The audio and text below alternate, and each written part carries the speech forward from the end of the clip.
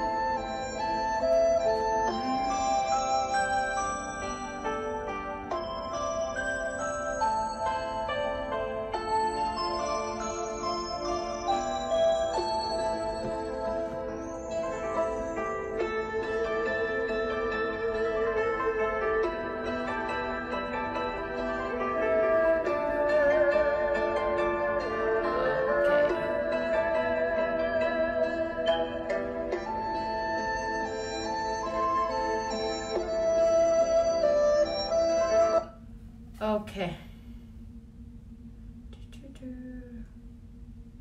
Mọi người nghe vân rõ không? Nghe rõ bấm như vân số 1 nhé. Nếu nghe vân rõ. Ok. Chờ Vân một phút vân share cái này cái. Share vô nhóm tâm linh.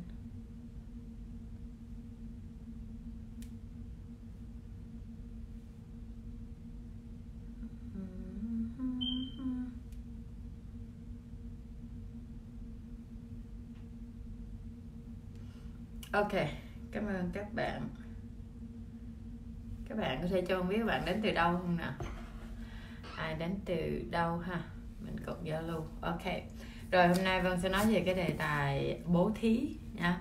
À, Có nhiều người nói à, Nhắn Vân chứ chị ơi em Em biết là bố thí là có phước Bố thí là à, có thể làm giàu à, có thể lợi lạc cho mình nhưng mà cái vấn đề là em không có tiền làm sao em làm từ thiện em làm bố thí? Rõ không ha? Không có tiền thì làm sao bố thí? Ha. Câu hỏi này rất là hay. Nhưng mà à, các bạn hôm nay Vân sẽ chia sẻ các bạn về những cách bố thí mà không cần phải tốn tiền. Các bạn không cần phải bỏ tiền ra thì mình mới có thể bố thí được. Và những cách bố thí này ai cũng có thể làm được hết. Tất cả nghèo cũng vậy giàu cũng vậy. Ai cũng có thể làm được hết vì không cần tốn tiền nhé à, ờ, trước khi đi vào đề tài thì vân xin tự giới thiệu sơ cho những người chưa biết đến vân. Thì vân tên là vân võ đến từ tampa florida. À, vân à, là một người phật tử bình thường giống y như các bạn thôi. Vân không phải là thuận nói pháp. Vân chỉ chia sẻ những cái kinh nghiệm kinh nghiệm sống của mình những cái kinh nghiệm mà mình đã từng trải qua à, và hy vọng giúp được một ai đó mà có thể uh, nhờ cái kinh nghiệm này mà thoát ra những cái cảnh bế tắc của mình các bạn. Thì đó là những cái vân muốn chia sẻ thôi còn hoàn toàn vân. Không phải quý thầy vân không có nói pháp mấy chị nhé chỉ có chia sẻ những kinh nghiệm mình thôi. Và hôm nay vân chia sẻ à, 7 cách bố thí. Phải nói là mới thêm một cách nữa. Bảy cách bố thí mà không cần tiền ha. Không cần tiền. Hello chị Hưng. À, vân chào cả nhà ha. Rồi cái cách thứ nhất khi mà vân biết được những cái cách này rồi đó các bạn biết um, uh, trước khi vân nói bảy cách này ha vân nói sơ chút xíu uh, về uh, một số bạn đã biết rồi ha uh, vì theo dõi facebook uh, chương trình của vân một thời gian thì cũng biết rồi là phật pháp đến với vân trong lúc mà vân tuyệt vọng nhất trong lúc là mình không còn cái gì để mất các bạn. Vân đã từng uh, có rất là nhiều à, và cũng từng mất từ ở trên rơi xuống vực thẳm không còn gì để mất nữa hết. Và thậm chí muốn chết cho xong. À, thì lúc đó Phật pháp đến với Vân và à, hello Phương và Vân à, bắt đầu đứng dậy bằng hai bàn tay trắng không có một đồng xu dính túi và cũng nợ từ đầu đến chân luôn. Có nghĩa là không có còn gì nữa để làm phước bố thí đứng dậy hết. Thì đúng mà vân vân đã từng cầm rất là nhiều tiền và cũng đầu tư à, à, bất động sản cũng khá là nhiều. À, và cũng từng có nhà ở biển à, tàu bè. Nói chung là ai có cái gì vân đều có cái đó hết. Vân không có thiếu một cái gì hết. À, dưới cái tuổi à, ở cái tuổi mà dưới 30 các bạn vân cầm rất là nhiều tiền. Nhưng sau khi mà à, kinh tế mỹ nó xuống á, là chỉ trong vòng chưa đầy 3 năm là vân mất trắng hết mất mà đến nỗi phải nợ luôn phải nợ rất là nhiều và lúc đó lúc đó vân không biết làm sao và rất là vô minh các bạn vì lúc mình có tiền à, vân nghe mẹ vân nói là con ơi cứ là tạo phước đi nha làm phước bố thí cúng dường đi nha. Vân nghe vân khôi chói lỗ tai lắm rất là khó chịu. Con nói mẹ tiền của con tại sao đem cho người ta? À, rất là vô minh các bạn mình không có thích ừ, đem tiền của mình đi cho người ta. Mình có tiền mình tại sao mình không hưởng thụ? Tại sao mình không làm làm à, à, sung sướng bản thân của mình mình ăn nhậu cho thoải mái thậm chí đi casino nữa? Coi như là mình hưởng thụ cho nó đã chứ mình không có muốn cho ai hết.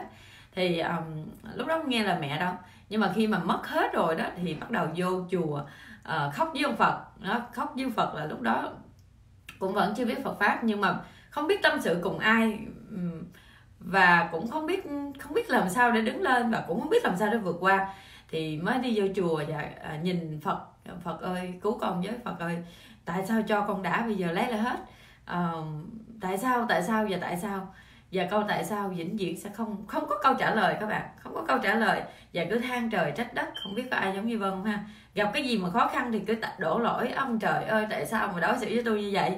À, những người xung quanh tại sao bạc đãi tôi như vậy? À, cứ cứ nghĩ tới người ta. Không không bao giờ nghĩ tới.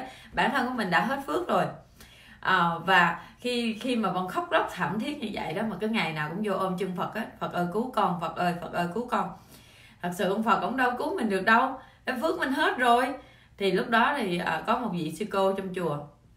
Sư cô nói à, thấy con sư cô không biết làm gì không biết khuyên cái gì nữa. Thôi con đem mấy cái băng giảng của quý thầy về con con nghe đi rồi con sẽ uh, có thể hy vọng giúp được con. Thì lúc đó con cũng không biết nghe pháp là gì nữa các bạn. Nhưng mà thôi sư cô nói như vậy thì giờ mình cũng buồn quá rồi thì mình đem mấy cái dĩa băng pháp mình về mình nghe. Thì lúc mà vân nghe đó và mới ngộ ra là ồ thì ra cái phước mình không còn nữa. Mình có 10 đồng phước thôi mà bây giờ mình xài sạch sành xanh hết. Mình xài không còn đồng nào hết. À, thậm chí mình xài lố luôn cái phước của người ta nữa. Thì làm sao mà mình còn phước để mình hưởng nữa các bạn? Thay vì mình có 10 đồng thì mình trích ra à, 5 đồng mình xài thôi. À, hoặc là à, 5 đồng mình xài một đồng mình để dành một đồng mình à, à, Ờ, bố thí làm phước hoặc là hai ba đồng gì đó, mình bố thí làm phước thì mình còn phước để mình ăn hoài. Còn cái này vân ăn sạch hết luôn 10 đồng luôn, không còn phước gì hết. Thì khi không còn phước nữa thì tự nhiên không còn tiền thì nó lọt xuống giật thẳm sâu lại thôi. Đó là cái chuyện đương nhiên. Rồi, bây giờ không còn tiền thì làm sao bố thí? Thì sư cô khuyên là, con ơi, bây giờ con bố thí lại đi, con làm việc lành lại đi mình nói cô ơi hồi lúc con có tiền con còn không biết bố thí cúng dường con còn không biết làm gì. Bây giờ con không còn cái gì hết thì làm sao? Tiền đâu mà để bố thí cúng dường? Vân cứ nghĩ trong đầu là phải có tiền. Mình phải có tiền thì mình mới à, làm phước bố thí được. Còn nếu mình không có tiền thì làm sao mà bố thí làm phước? Đó là cái cách mà vân nghĩ trước đây. Thì lúc mà vân nghĩ như vậy thì mình sẽ vĩnh viễn không có làm được các bạn nhưng khi mà vân vân à, sửa lại cái cách nhìn của mình đó mình nói ok bây giờ mình không còn gì để mất không còn tiền nữa. Thì bây giờ mình sẽ làm phước bằng cách là mình à, vô chùa lặt rau quét lá đa. Giờ không có lá đa để quét nhưng mà dọn dẹp chùa lau bụi à, hoặc là à, à, tu cho giỏi niệm phật cho nhiều để mình có thể cùng cộng tác đi ừ, đi à, niệm phật ban hội niệm à, và và bắt đầu vân tu vân buông hết xuống vân tu tập tu tập à, rất là nhiều để vân thành lập một cái ban hội niệm. Và bắt đầu vân đem cái công của mình ra rất là nhiều trong khi tay trắng không có tiền các bạn nhé. Vân đem cái công mình để mình làm phước mình làm rất là nhiều việc. À, đi hội niệm nè tổ chức ban hội niệm nè đi hội niệm nè. À, ai nửa đêm gà gái ai gọi đâu cũng tóc mền chạy hết. Rồi à, à, vô chùa à, lụm lụm rác làm cái gì cũng làm hết. Rồi học chuông mỏ à, chuông mỏ thỉnh chuông thỉnh mỏ ban pháp khí rồi nói chung làm bất cứ cái gì gọi là lành thì vẫn cố gắng vẫn làm làm cái công của mình đã làm. Thì làm một thời gian thì tự nhiên mình thấy cuộc đời mình nó tươi sáng ra các bạn. À, tự nhiên giống như là mình đang nằm trong bóng tối gì đó. Nhưng lóe ra một cái ngọn đèn rồi bắt đầu mình đem cái ngọn đèn này mình thắp cho những ngọn đèn xung quanh tự nhiên sáng ra. Nguyên một cái căn phòng sáng và xung quanh mình thấy được ánh sáng màu hồng rất là đẹp các bạn. Thì hôm nay Vân muốn chia sẻ với các bạn về bảy cái bước bố thí mà không cần phải tốn tiền giống như Vân trước đây và Vân đang còn vẫn tiếp tục làm các bạn. À, thứ nhất là bố thí nụ cười. Ha cái này không cần tiền đúng không? Bố thí nụ cười đâu có tốn tiền đâu. Kêu là nhan thí ha nhan thí có nghĩa là mình bố thí cái nụ cười trên nhan sắc của mình trên cái khuôn mặt của mình. Các bạn có có thấy là trong facebook của vân là hình nào lên vân cũng cười không? Có ai thấy là rất là nhiều. Hầu như vân chụp hình. Mặc dù có mệt tới đâu đi nữa mà chụp hình là cười chụp hình là cười. Mà đăng đăng hình trên facebook là phải cười. À, và có có một số bạn nhắn tin cho vân đấy chị vân biết không ngày nào mà em buồn bã em mất năng lượng em vô facebook của chị là em lấy năng lượng lại được liền thì vân hỏi, ủa, lý do tại sao mà vô facebook của vân mà lấy năng lượng lại liền được là sao? Em chỉ cần vô đó em nhìn những cái tấm hình của chị. Chị cười một cách rất là rất là an lạc, rất là rất là vui, rất là hoan hỷ. Thì tự nhiên em thấy những cái nụ cười của chị là em cảm thấy em có năng lượng trong ngày đó. Đó là bố thí nụ cười các bạn, bố thí, gọi là nhan thí. Và ai cũng có thể làm được việc này hết. Các bạn có tin là cái nụ cười của mình có thể giúp người khác cười không? Người ta không có cười nổi ngày đó, người ta rất là mệt mỏi, người ta có chuyện không vui. Nhưng nhờ cái nụ cười của mình mà giúp cho người ta có thể nở nụ cười trong tâm hồn của người ta, hoặc là người ta có thể trao mình lại bằng cái nụ cười của người ta. Cái nụ cười của mình có thể khống chế được cái nụ cười của người khác, các bạn có tin không? Làm thử nha. Bây giờ ai hứa cam kết với vân nè, mình sẽ bố thí nụ cười nè. Bấm như vân số 2 nha. Mọi người cùng nhau bố thí nụ cười. Và nếu như muốn bố thí nụ cười thì bản thân của mình phải tập cười nhiều hơn nữa các bạn. Bất cứ chuyện gì xảy ra cười giùm vân đi ha. Bấm vào vân số 2 nếu bạn cam kết cùng vân bố thí nụ cười ha. À, cười nhiều hơn tập cười nhiều hơn. À, một mình mình mình cũng cười các bạn. Không có sao hết. Ai nói mình khùng thì kệ họ đi không sao hết. Tôi biết tôi làm cái gì mà đúng không? Tôi đang biết tôi làm cái gì. Cho nên tập cười nhiều hơn. Và mình đem cái nụ cười của mình để mình bố thí cho tất cả mọi người. Mình gặp ai mình cũng dạ chào cô à, chào bác chào chị chào em. Và khi nụ cười của mình đi với cái lời chào của mình thì cái hoan hỷ của mình cái an lạc của mình nó sẽ tỏa ra cho người khác. Và người khác sẽ hấp thụ cái năng lượng từ trường của mình để cho họ à, được an lạc. Các bạn các bạn tin không? Điều đó vân đã chứng thực được rồi rất là nhiều. Và à, nụ cười không tốn tiền các bạn ha. Ha rất là nhiều bạn. Bấm số 2 có nghĩa là các bạn cam kết với vân là tập cười nhiều hơn và tập bố thí nụ cười của mình cho người khác ha. Ok rồi cái thứ nhì là cái ngôn thí. Cái ngôn thí là cái gì các bạn? Cái ngôn thí là cái mà um, phải nói là lời nói của mình. Lời nói không mất tiền mua lựa lời mà nói cho vừa lòng nhau đúng không? Cho nên là cái lời nói của mình nó không có mất tiền mua đâu các bạn. Nhưng có nhiều lúc mình nói những cái câu có thể làm người ta rất là an lạc à, rất là thoải mái. Nhưng có nhiều lúc mình nói những cái câu nó làm cho người ta rất là khó chịu và giống như là hóc búa ghê gớm lắm. Người ta nói hả thà là đem dao đâm tôi một cái tôi đau tôi chết liền ngay tại chỗ. Còn hơn là nói những cái lời cay cú như vậy giết tôi chết lần chết mòn chết mà không không không được. Và sống đau khổ cá cuộc đời vì một lời nói của ai đó các bạn. À, cho nên mình tập nha mình tập. Nếu như lời nói không có tính cách phục vụ thì đừng nói. Ha. nếu như lời nói không có lợi lạc cho người khác thì đừng nói. Nếu như lời nói à, không có à, giúp được mình và giúp được người xung quanh mình thì đừng nói. Ừ. ok? Và mình tập nói với cái à, cái lời nói hoan hỷ cái lời nói làm sao để mình có thể à, mình có thể à, um, an ủi một ai đó. Thí dụ người ta đang đau khổ người ta đang gặp một cái gì đó uh, mà bất an mặc dù cái người đó nó không phải là người tốt nhưng mà người ta đang gặp cái cái quả báo đến với người ta thì mình không thể nào đến người ta mình hoặc là mình đi biêu sống người ta hoặc là mình nói với người, với người ta là thấy chưa? Trời trả báo bà đó quả báo nó tới đó. Làm cho người ta đau thêm nữa các bạn mặc dù đó là sự thật nhưng tại sao mình không cho người ta một cái một cái một cái một cái giọt nước uh, cam lồ nào đó để nó im ái một chút xíu? Thí dụ như uh, dạ uh, chị ơi chị cố gắng đi cố gắng đời trời không có đường cùng uh, và mình có cái cách để mình có thể vượt qua cái này mà em tin chắc là chị có thể làm được. À, và chị cứ à, nghĩ thoáng một chút đi. Đại khái là những lời nói an ủi của mình nó sẽ giúp cho người ta uh, thoải mái hơn lợi lạc hơn rất là nhiều. Giống như bản thân của vân có có khá là nhiều anh chị hình như là anh chị đến với vân là anh chị khổ mới đến. Đa số đúng không? Gọi cho vân kiểu chị vân ơi cứu em với chị vân ơi cứu em với. Giờ em cũng biết làm sao để vượt qua em muốn tự giận chết cho rồi. Đa số là khổ các bạn đến tìm vân. Không hiểu tại sao luôn. Bữa nào thử các bạn nào thử trúng số hay là thử uh, cái gì đó vui vui đến với vân được không? Đa số là gặp khổ đến với vân. Nhưng mà cái mà vân cần làm với họ đó là vân sẽ hỏi chuyện hỏi chuyện là câu chuyện như thế nào? À, em có thể giúp được gì cho chị? Em chị có thể giúp được được gì cho em? Tôi có thể giúp gì được cho bạn?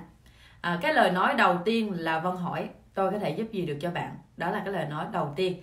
Và cái lời nói thứ nhì của vân đó là um, à, bạn có thể cho tôi biết là cái tình cảnh của bạn như thế nào hay không? Và khi khi mà vân nghe được rồi đó là vân biết là đó đó là cái cái quả báo của họ. Đó là cái cái nghiệp của họ nó đang đổ ra vân biết chính xác rất rõ cái điều đó luôn. Nhưng cái vân cần làm là vân vân hướng dẫn cho họ cái cách để họ vượt qua. À, thứ nhất cách vượt qua thứ nhì là cái cách làm sao để chấn an họ ngay bây giờ các bạn. Các bạn làm sao để cho họ có được cái tâm an ngay bây giờ? Thì cái bước tới họ mới bắt đầu họ làm được. Họ mới bắt đầu họ giải nghiệp từ từ từ từ. À, và và những cái lời an ủi đó nó sẽ giúp họ là một cái sức mạnh là một cái động lực để cho họ có thể đứng lên và tiếp tục đi trên bước hành trình của họ. Còn nếu không mình đạp người ta một cái mình nói thấy chưa? Quả báo mà. À, biết như vậy thì lúc trước đừng có làm. Làm bây giờ thì lãnh quả là cái đó là cái việc đương nhiên rồi. Thì mình nói cơ không có khác nào là mình đang đạp người ta một cái nữa cho người ta xuống giật sẩm giật thẳm sâu luôn các bạn.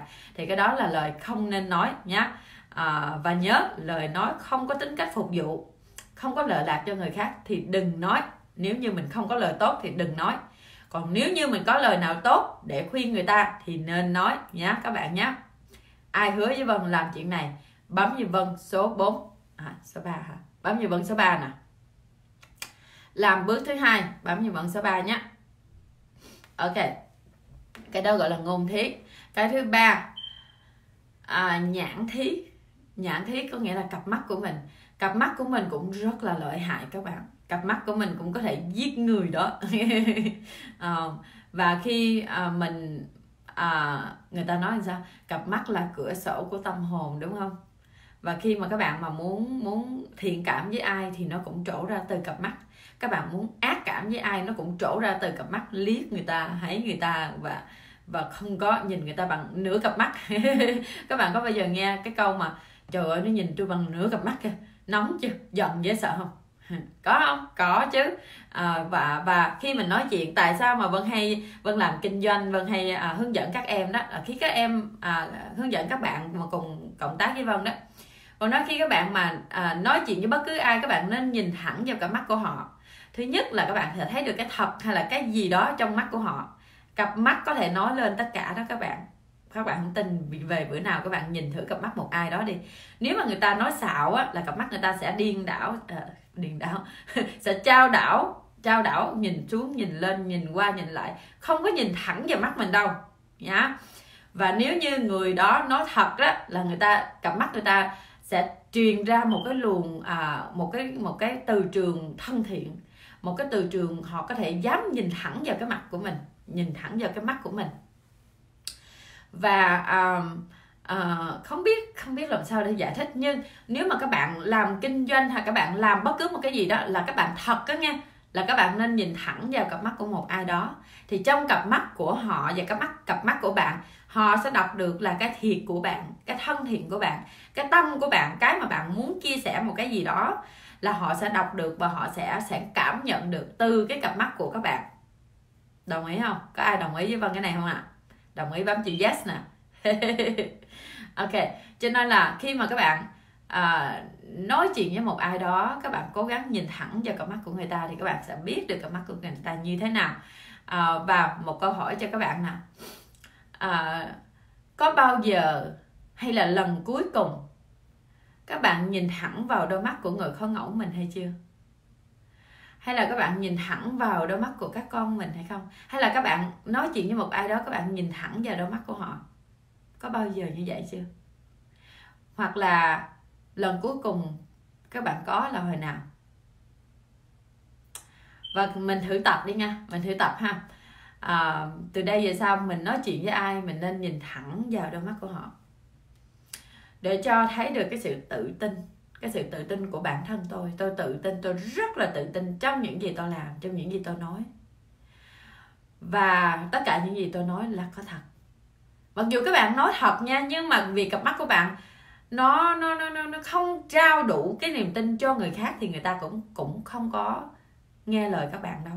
Tin vân đi.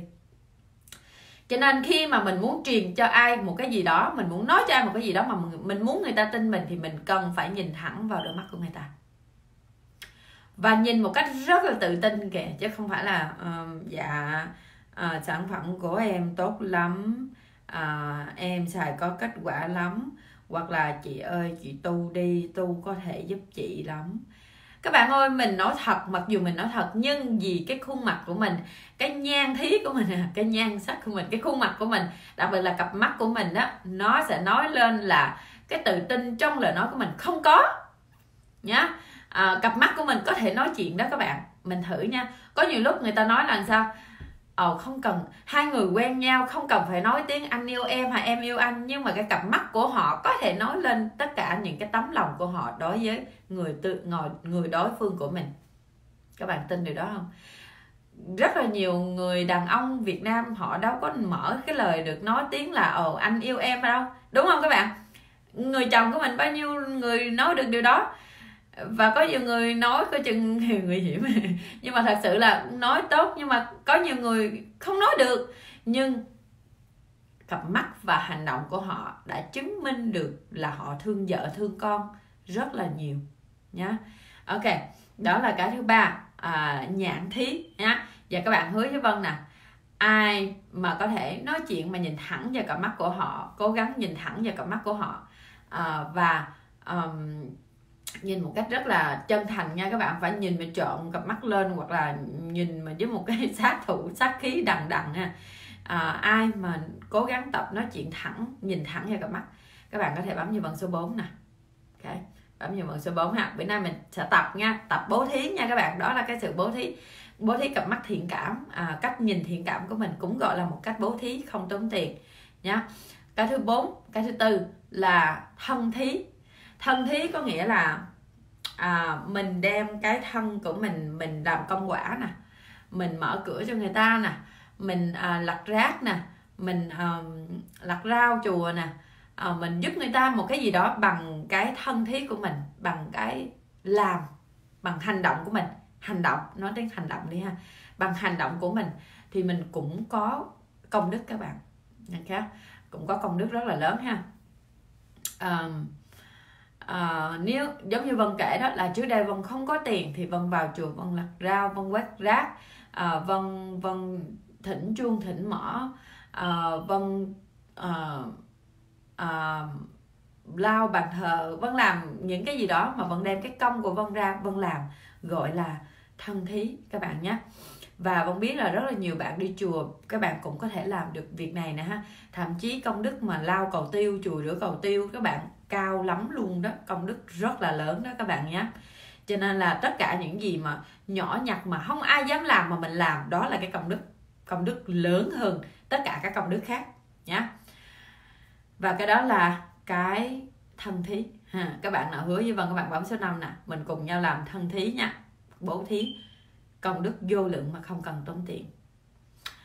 À, bấm số 5 ha ok rồi bây giờ tới cái kế tiếp là cái số 5 là tâm thí.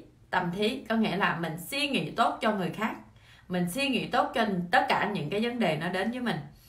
À, bố thí cho mình và bố thí cho người khác. Thí dụ như người khác đến với mình à, và họ đến với mình một cách à, à, không có tốt lắm nhưng mình phải nghĩ tốt cho người ta các bạn. Không phải là phải nhưng mà vì cái bản chất của mình là cái bản chất thích giúp người khác cái bản chất của mình là cái bản chất um, um, phải nói như thế nào? Mình có cái tâm thiện mình có cái tâm thiện. Cho nên là mình suy nghĩ tốt cho người ta. Có thể là người ta chạy uh, mình đang đi mà có người nào mà chạy mà đụng mình té ngã nhào lăn đó thì đau chứ tức chứ đúng không? Nhưng mà khi mình suy nghĩ lại mình nói là có thể là người đó đang gặp một cái chuyện gì đó rất là khẩn cấp. À, đang cần phải đi thật là nhanh thật là lẹ cho nên họ sơ ý họ đụng mình thôi. Không có sao hết. Mình dùng cái tâm thí mình bố thí cho người ta mình nghĩ tốt cho người ta thì mình sẽ có lợi lạc cho bản thân của mình và cho những người xung quanh. Và nhớ cái tâm của mình như thế nào thì cái cái cái cái cái cái kết quả cái cái um, cái cuộc sống của mình nó sẽ như thế đó các bạn. Rất là rất là quan trọng cái này có thể nói là ở cái tâm tôi đâu có nhìn thấy cái tâm đâu. Thật sự đúng mình không nhìn thấy cái tâm. Nhưng nếu cái tâm các bạn nghĩ ác cho người nào đó mà đặc biệt là người tu hành nhá là người đó coi chừng bị bất an. Thí dụ như người ta đụng mình cái mình nghĩ tốt không có sao hết rất là tốt và cái chuyện tốt nó sẽ đến lại với mình chuyện lành nó đến với mình. Nhưng nếu mình nghĩ là uh, bộ nhà mày có người chết hay sao vậy? Uh, bộ um, uh, cái gì đó đại khái là ác ác khẩu á. À, tâm tâm của mình nghĩ tâm của mình nghĩ mình chưa có nói ra nha cái tâm của mình nghĩ thôi. Um, mày trước khi mà con tu quân hay nghe cái những cái câu mà hay mấy bà mấy mấy bà ở ngoài chợ hay nói cái câu là um, không kịp chôn hay sao vậy chợ, đi đi chết hay sao vậy mà chạy dữ vậy. Đại khái như những cái câu ác khi ác khẩu như vậy đó những cái những cái tâm của mình nó xuất hiện những cái ác ý như vậy, thì tự nhiên người đó sẽ gặp nạn. Nếu như các bạn các bạn là cái người tu hành, thì các bạn sẽ là, sẽ có bồ tát theo gia hộ, chư phật, chư bồ tát và long thần hộ pháp. Theo gia hộ các bạn. Mà các bạn chỉ cần dùng cái tâm ác của mình, cái tâm bất thiện của mình để mình nghĩ cho người ta thôi là người ta cũng gặp quà đó các bạn. Người ta sẽ cũng gặp quà vì sao? Vì mình là người tu thì mình không không nên trổ ra như vậy. Biết rằng chư Phật chư Bồ Tát không có hại ai hết nhưng bên cạnh đó là Long thần hộ pháp nè à, chư thiên chư tiên và những cái dông linh theo mình tu tập đó. Những dông linh theo mình tu tập họ chưa có giác ngộ đâu và khi các bạn nghĩ ngạ à, nghĩ cái gì đó bất thiện cho người ta người ta là coi chừng người đó cũng có thể hưởng nhá người đó cũng có thể gặp những cái cái cái cái gì mà các bạn quở người ta đó nhá. Quở người ta mặc dù dùng cái tâm thôi nha cho nên là cái tâm mình luôn luôn nghĩ tốt cho người khác. Luôn luôn mặc dù cái chuyện đó nó là cái chuyện không may nó đến với mình nhưng nếu mình nghĩ tốt cho cho người đó nghĩ tốt thì đó là cái cái công cái phước của mình mình sẽ hưởng lại các bạn nhé mình sẽ hưởng lại và cũng cái từ trường an lạc cái tâm à, tốt của mình nó cũng sẽ giúp đỡ cho những người xung quanh của mình à, an lạc giống như mình nhé cái đó là cái thứ năm. À, ai ai cam kết bấm như bật số 6 nè. Ok. Cái thứ sáu là tọa thí. Tọa thí có nghĩa là khi mà các bạn à, đi trên một cái chuyến xe hoặc là ngồi chờ làm một cái gì đó ha các bạn thấy bà bầu à, người lớn tuổi hơn mình à, phụ nữ hay là những người mà kém may mắn hơn mình đó mà mình đang rất là may mắn mình có chỗ ngồi đó thì mình sẽ đứng lên để mình nhường chỗ cho người khác. À, đó là gọi là tỏ thí. Và cái tỏ thí nó cũng không có mất tiền các bạn. Và mình đứng chút xíu đâu có chết đâu mà sợ. Nhưng mà có nhiều lúc mình thấy bà già ông già đứng đó mà mình không có nhường chỗ cho người ta. À, hoặc là bà bầu hoặc là những người mà đang có cần ghế thì mình mình nên làm chuyện đó các bạn nhé. Và và mình làm cái chuyện nhỏ xíu thôi nhỏ đó thôi mà cũng có công đức rất là lớn các bạn. Cái thứ bảy cái thứ bảy này à, gọi là phòng thí. Phòng thí có nghĩa là nhà các bạn có dư chỗ mà à, ở chùa chiền có khóa tu hay là à, người ta kém may mắn hơn mình. Cái này vẫn nói không phải là nói là um, các bạn cũng cẩn thận về cái thứ bảy này ha. Cái thứ bảy này cũng rất là nguy hiểm. Khi mà các bạn không biết một ai đó mà các bạn cho người ta vô nhà thì cũng không có nên không có nên ha. Nhưng mà nếu như các bạn gặp những cái điều mà quá là bất hạnh đó mình có thể giúp người ta được thì mình có thể giúp. Thí dụ như bản thân của vân. Um, lúc mà chùa có phật ngọc về đó à, nhà vân thì có 5 phòng ngủ à, cộng với một cái phòng văn làm office làm văn phòng nữa là 6 phòng. Thì nhà vân cũng khá là khá là to. À, nhưng mà vân còn có một phòng bàn thờ rồi nè. À, ba thằng con trai là ba phòng rồi nè. Vân à, với anh xã một phòng là bốn phòng là năm phòng ở trên là hết rồi. À, hết rồi. Và phòng ở dưới lầu thì là phòng văn phòng. Thì à, vân làm việc ở đó thì không thể nào vô ngủ được rồi. Thì có 5 phòng ba thằng con trai ba phòng. À, phòng bàn thờ là một phòng và phòng à, vân với em xã là năm phòng ha. Thì nhiên nhưng khi mà phật ngọc về đó thì vân biết là quý sư cô quý thầy rất là đông và không có chỗ ở. Thì vân dồn hết ba thằng con trai vô một phòng. À, và vân còn dư hai phòng mà vì mấy cái phòng nhà vân thì cũng rất là to. Một phòng có thể ngủ được à, nếu mà trải nghiệm thì cũng, cũng ngủ cũng được là cũng khoảng cả.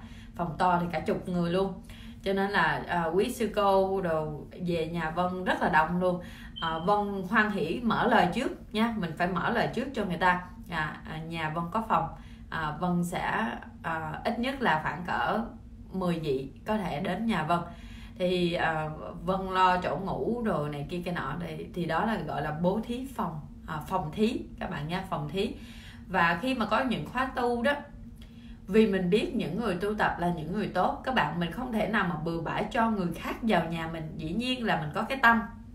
Nhưng tâm từ bi nó phải đi chung với trí tuệ các bạn nhé. Cũng phải đi với trí tuệ chứ không phải là ờ, vì vân nói là phòng thí có nghĩa là nhà mình có dư phòng thì mình thấy ai nghèo khổ ngoài đường mình cũng đem vô nhà hết.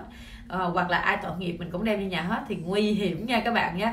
Bây giờ mình không biết thật là cái gì giả là cái gì không biết ai thật không biết ai giả nữa cho nên à, mình làm việc thì mình cũng phải có trí tuệ nhé cho nên cái cái cái đó cũng là cái mình à, nên suy nghĩ nhưng mà mình làm mình vẫn phải làm các bạn nhé à, và đó là bảy cái mà vân muốn cống hiến chia sẻ với các bạn hôm nay. Và đây là bảy cái mà vẫn đang làm. Và một cái nữa là cái thứ 8 các bạn mình phải nói là cái thứ 8 luôn nha. Cái thứ 8 là bây giờ khi mà vân làm được việc rồi đó vân làm được à, được có tiền ra ra được tiền rồi đó thì vân um, uh, uh, trích một phần tiền của mình uh, mình đem bố thí làm phước cúng dường giúp những người kém may mắn hơn mình các bạn. Thì mình uh, đó là cái cái thí mà mình có tiền nha mình có tiền. Còn những cái kia đó bảy cái kia là mình không cần tiền không cần tiền à, cũng có thể làm được.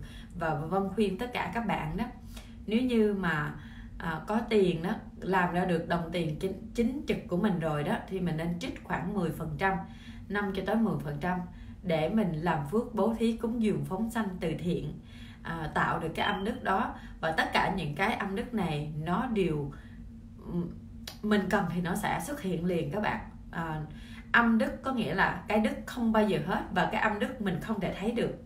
Và khi mình có những cái chuyện mà không may đến với mình những cái chuyện khó khăn đến với mình tự nhiên sẽ có người uh, quý nhân xuất hiện giúp đỡ mình liền ngay tức khắc liền các bạn. Vân kể một cái uh, câu chuyện mới thất thì đây vân đi công tác. Vân đi công tác uh, khoảng uh, uh, 3 ngày vừa qua đó vân mới về hôm qua đó. Thì các bạn có biết không? Uh, khi mà vân ra ra phi trường đó vân bước cái giá máy bay cũng khá là đắt rồi. Uh, cũng khoảng cỡ gần 500 đô rồi. Uh, 400 mấy thì uh, uh, vân vân mua vé máy bay làm sao mà vân mua bị lộn ngày? Lộn ngày có nghĩa là chủ nhật vân bay mà là cái ngày mà vân sớm sát làm sao là thứ bảy vân bay. Cho nên là vân bị lộn ngày.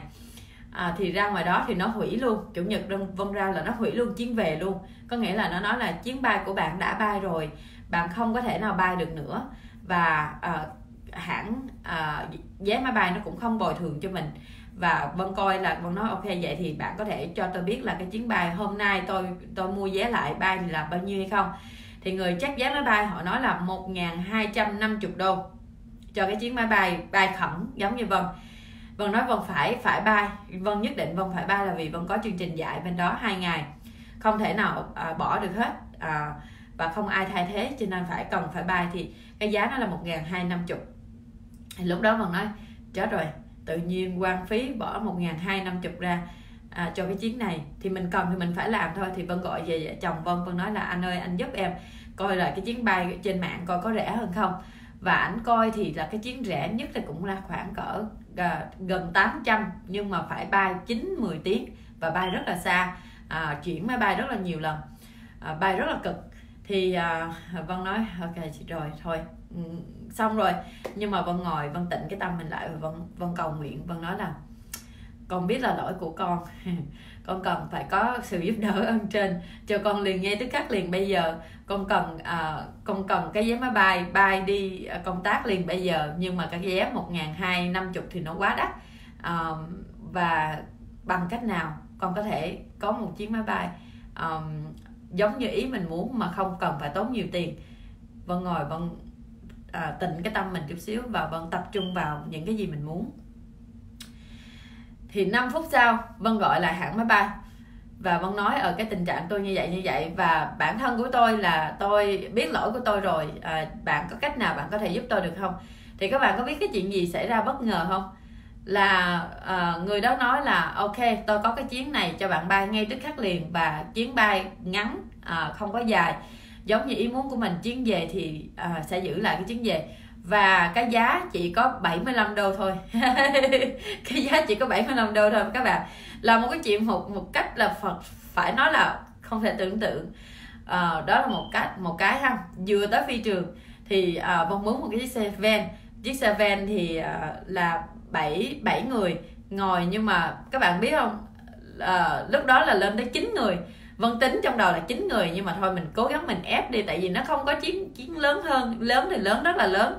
Thì bắt đầu vân nghĩ là chết rồi chín người thì việt nam mình nhỏ nhỏ nhỏ con thì thôi, ok, không sao đâu, bảy người là bảy người mỹ. Mình chín người mình dồn vô cũng không sao, nhưng mà hành lý nữa thì làm sao đây? Nhưng mà cố gắng ép không sao.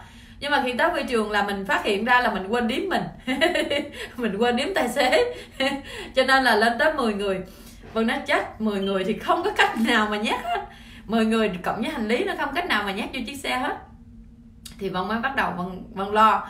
Vân nói chết rồi 10 người làm sao đây? Mà bây giờ 10 chính bạn kia là không ai dám lái xe xa hết. À, vì lái xe cũng khá là xa.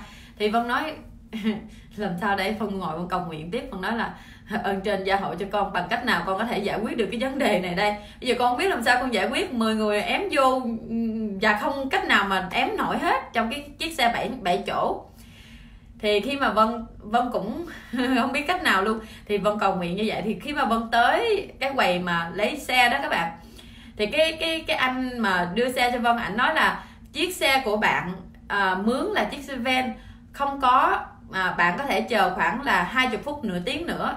Ở hãng khác ở chỗ khác sẽ đưa xe lại cho bạn hay không? Và vân đã bị delay uh, làm các bạn chờ cũng một thời gian cũng là mấy tiếng rồi. Vân feel bad vân khó chịu quá. Thì vân mới nói là uh, tôi không thể chờ vì các bạn tôi đã chờ quá lâu rồi thì bạn có cách nào để cho tôi có xe liền bây giờ hay không? Thì khi đó anh chàng này nói là ok tôi không có xe mà bạn muốn à, bạn đặt nhưng tôi sẽ cho bạn chiếc xe to hơn chút được không? Mình nói mình nói mình không không ngờ các bạn một cái sự thật nó bất ngờ đến với mình. Tôi có thể cho bạn cái xe to hơn à, mặc dù là 7 chỗ nhưng mà nó rộng nó lớn hơn nó to hơn cái xe mà bạn mướn được không? À, và cái xe này nó rất là rất là tốt và cái giá tiền nó cao hơn nhiều lắm. Nhưng tôi không lấy thêm giá tiền bạn. Và tôi cho bạn cái xe này. Trời ơi vân phải nói là vân nói là cái sự màu nhiệm nó đến với mình. À, lý do tại sao các bạn? Là tại vì hàng ngày mình đều làm việc tốt. Hàng ngày mình đều bố thí một cái gì đó mà mình mình không có bất thụ lợi. Có nghĩa là mình không có để ý tới. Thí dụ như vân chụp hình facebook vân bố thí những cái nụ cười của vân cho các bạn nhưng mà vân đâu có nghĩ đến là cái đó nó có thể giúp mình đâu đúng không? Và vân bố thí lời nói của mình nè à, đôi mắt của mình nè và uh, những cái công sức của mình đưa ra thí dụ như uh, vào chùa thỉnh chuông thỉnh mỏ những cái công sức mình đưa ra mà mình không nghĩ đến mình bố thí đừng có nghĩ đến các bạn nhé. Bố thí ra rồi quên nó đi. Nhưng một khi các bạn cần thì tự nhiên những cái công à, những cái à, công đức đó những cái phước đức đó nó tự nhiên nó xuất hiện ngay tức khắc liền vì sao? Vì các bạn đang có âm đức. Các bạn đang có những cái âm đức trong người các bạn. Và những cái âm đức này nó có thể giúp bạn và nó có thể truyền lại cho đời con đời cháu của mình sau này các bạn. Mình cứ nói là ờ mình để mình làm tất cả vì con đúng không? Mình à, mình đi làm rất là nhiều tiền để mình để lại cho con. Nhưng mà bên cạnh đó các bạn không có tạo bất cứ một cái công đức phước đức gì hết mà các bạn chỉ có tạo tiền thôi. Thì khi mà đứa con của mình nó lớn lên á nó ôm một cái khối tiền khổng lồ đó mà nó không có một cái công đức cái âm đức gì của mình à, cho nó hoặc là của mình truyền lại cho nó hoặc là mình hướng dẫn nó làm. Thì những cái số tiền đó cho dù nhiều bao nhiêu đi nữa cũng không còn. Các bạn cũng nó phá trong vòng thời gian ngắn thôi cũng banh sạch hết số tiền không còn một đồng nào đâu. Các bạn tin vân đi. Cho nên đó là đó là lý do mà vân cứ lặp đi lặp lại là các bạn nên nếu các bạn muốn giàu có các bạn muốn được có cuộc sống sung túc. Các bạn muốn có cuộc sống giống như mình mong muốn à, ai cũng muốn có cuộc sống an lạc hạnh phúc hết đúng không? Và ai cũng có những cái giấc mơ đúng không? Nhưng mà thật sự các bạn chỉ có thôi các bạn không thực hành thì vân tin chắc là các bạn cũng không có không có đạt được. Cho nên đây là những cái cách bố thí uh, mà các bạn nên làm hàng ngày hàng ngày và hàng ngày và đây là những cái có thể cứu mình trong lúc hoạn nạn các bạn. Rõ ràng luôn hai cái việc vừa qua vân đi đó các bạn thấy không? Rõ ràng. Và và vân đến với vân thật là bất ngờ và vân chỉ cần nhắm mắt lại tịnh cái tâm mình lại và vân nói là bây giờ bằng cách nào? Bằng cách nào con có thể có được một cái chiếc máy bay mà nó vừa vừa à, đúng cái cái bay ngắn không có bay dài đúng như mình muốn và không có tốn nhiều tiền thì tự nhiên xuất hiện. Và chiếc xe cũng vậy các bạn. Hai cái mà nó thật sự âm đức mình có thì mình cầu nguyện một cái gì đó nó sẽ ra nó sẽ ra. Nhưng mình cần phải tạo ngay bây giờ các bạn nhé tạo ngay bây giờ. Và bên cạnh đó mình cần phải có công phu điều đặn công phu trì chú à, sám hối niệm phật điều đặn và điều đặn và điều đặn. Giống như thời gian qua vân rất là à, bận không có nhiều thời gian để ngồi trước bàn phật để tụng kinh niệm phật. À, và yes cái đó vân cũng sám hối là tại vân không làm thường vì công việc cũng khá là bận. Nhưng khi mà vân làm việc vân ngồi trên bàn làm việc hoặc là bay đâu đó vân đều đều trì chú đều công phu đều làm hết các bạn. Và để mà nhắc nhở vân mỗi ngày đều làm đó thì vân có thâu vô một cái thâu vô cái cái cái điện thoại của vân đó. À, chú đại bi uh, chú đại bi mà tụng nhanh với quý sư cô đó vân hay tụng nhanh thì vân bắt suốt luôn các bạn bắt suốt luôn. Thì cái cái cái vân đang làm việc vân vừa làm việc uh, vừa đặt hàng cho khách vừa đặt uh, là tương tác với khách hàng. Nhưng cái tâm của vân lúc nào cũng trì chú lúc nào cũng trì chú lúc nào cũng trì chú lúc nào cũng trì chú. Cho nên cái đó cũng gọi là một trong những cái công phu mà mình không không bị gián đoạn. Thì khi mà các bạn công phu đều đặn ha và bố thí làm phước cúng dường uh, trong tất cả các tình huống thì vân tin chắc luôn cuộc đời các bạn sẽ được như ý như các bạn muốn y như rằng luôn các bạn nha. Vì vân đã làm được vân đang làm được thì vân tin chắc là tất cả các bạn đều làm được hết. Và nhớ là vân đã đứng lên từ hai bàn tay trắng không có một cái gì trong tay hết và nợ nợ từ đầu đến chân luôn các bạn nợ rất là nhiều. Anh xã vân 6 năm trời mới đứng dậy nổi vì cái thất bại của của của à, của ảnh uh, của vợ chồng vân. Nhưng uh, vân lại nhờ được phật pháp mà vân đứng dậy ngay tức khắc liền nhờ bố thí không tốn tiền này các bạn. Ok.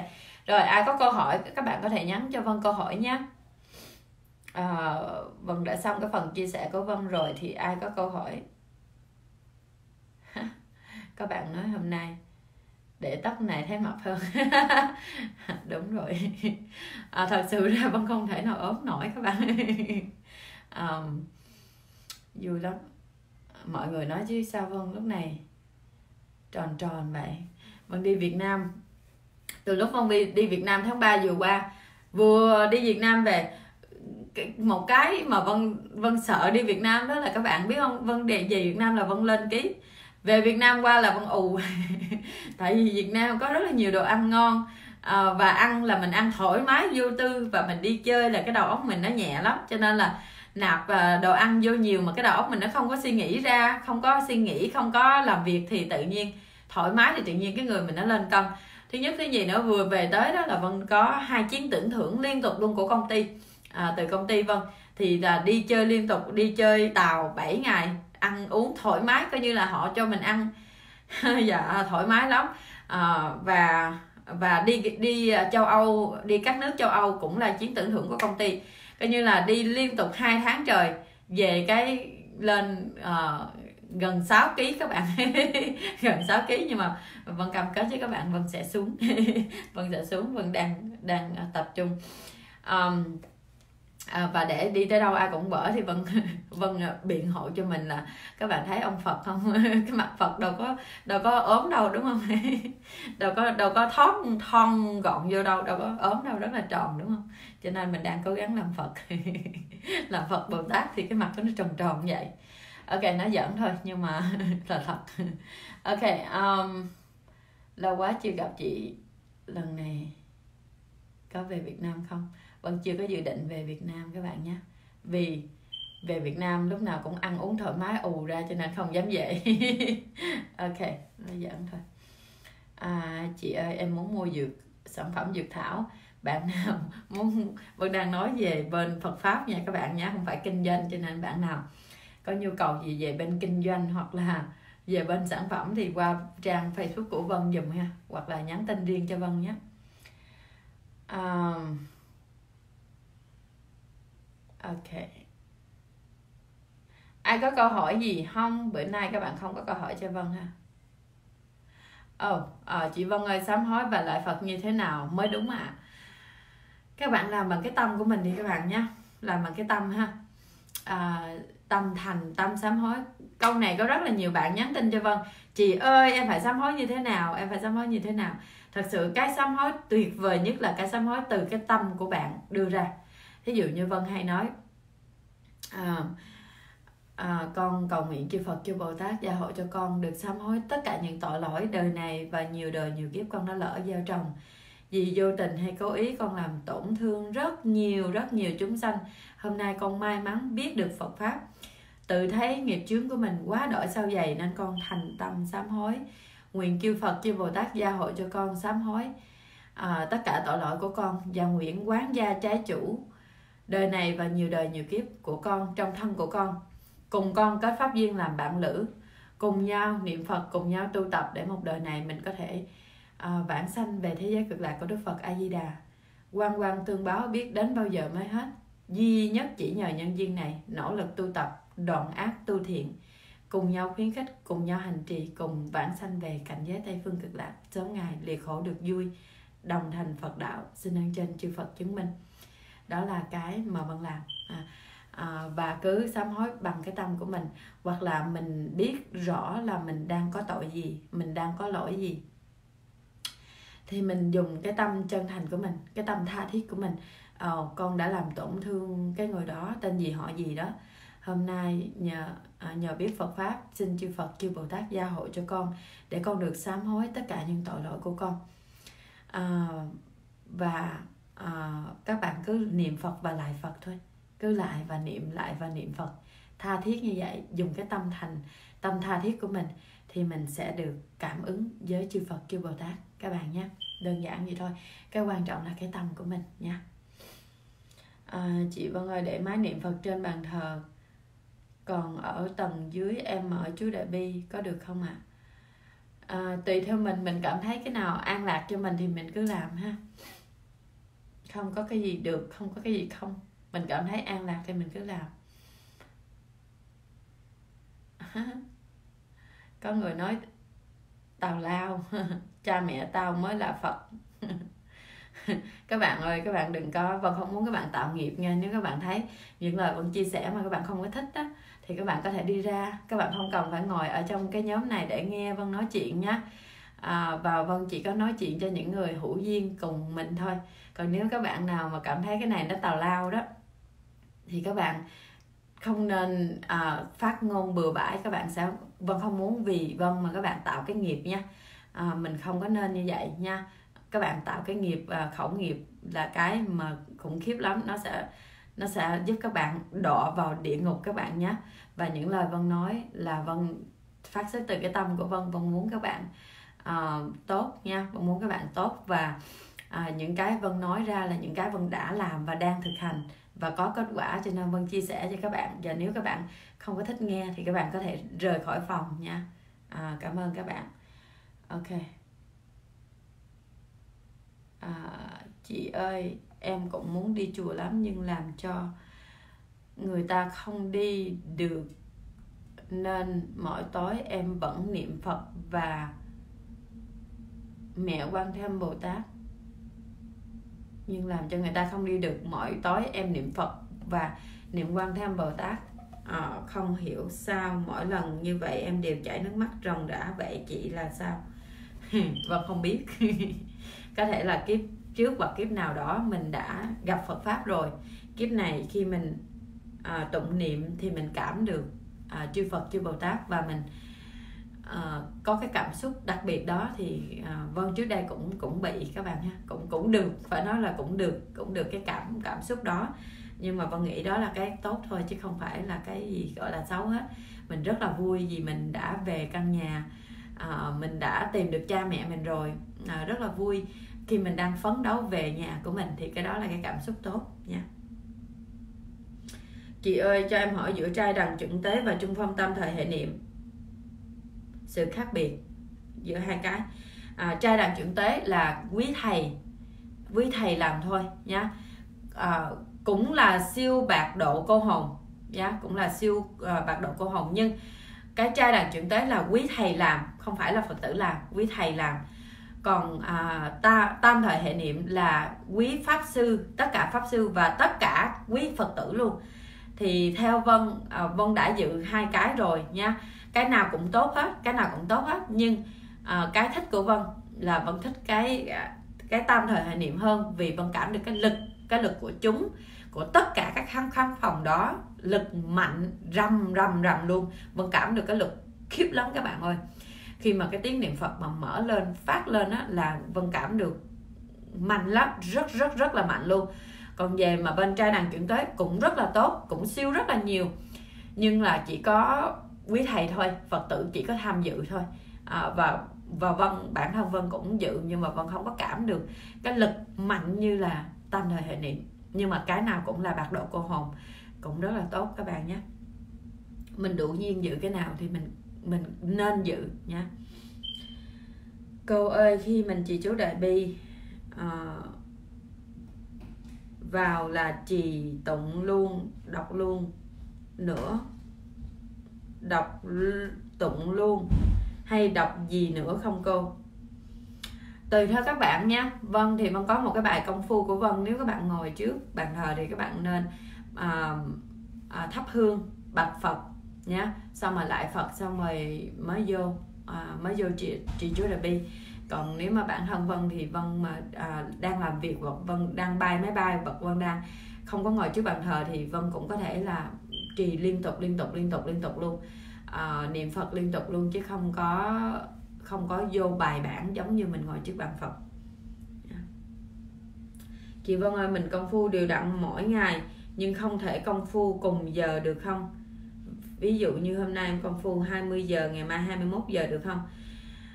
À, sao cũng được nha. À, không không có cái gì được không có gì không sao, sao cũng được.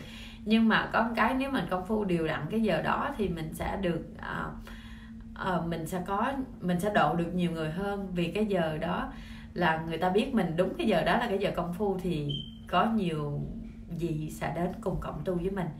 À, thì mình có thể độ được người âm nha nha nhưng mà có nhiều lúc là rất là bận rộn mình không thể nào um, không thể nào mà mình có thể công phu điều đặn được hết vì cơm áo gạo tiền. Nhưng mình làm thì đỡ hơn là không làm nha. Cho nên là vân khuyên là nên làm điều không điều thì cũng cố gắng là phải làm. Um, cô ơi con mới tu tập trì chú và đọc kinh địa tạng mỗi ngày. Càng ngày con càng tham sân si nhiều hơn. Không biết. Các bạn tu mà các bạn càng ngày càng không an lạc à, tham sân si nhiều hơn là coi chừng các bạn cái gì đó vâng không biết nhưng mà uh, không không không dám trả lời câu này nhá. Coi chừng có thể là cái gì đó sai sai. Hoặc là các bạn mới thì các bạn có thể bị khảo chút xíu nha bị khảo chút xíu. Nhưng mà cố gắng đi đừng bỏ nha à, có thể là mình đang bị khảo. Ok các bạn mình cũng quá giờ rồi cho nên là vân sẽ tạm ngưng tại đây ha. À, vân à, chúc các bạn mình cố gắng tu tập à, điều đặn mỗi ngày và cố gắng bố thí làm phước cúng dường. Đặc biệt là à, mình phải làm thường xuyên thì mới có kết quả chứ không phải là bữa nay làm ngày mai nghỉ. Ngày mốt nghỉ rồi một tuần làm một lần. Mình làm mọi lúc mọi nơi. Ai cần mình giúp mình có thể giúp mình giúp người ta. À, và mình giúp người công phu bố thí làm phước bất thụ lợi không kể không kể công. Thì cái công đức đó rất là vô lượng các bạn. Còn nếu mình làm mà mình nhớ hoài kể hoài thì chắc chắn là các bạn sẽ bị giảm bị tổn nhá. Cho nên đó là cái mà vân nhắc nhở.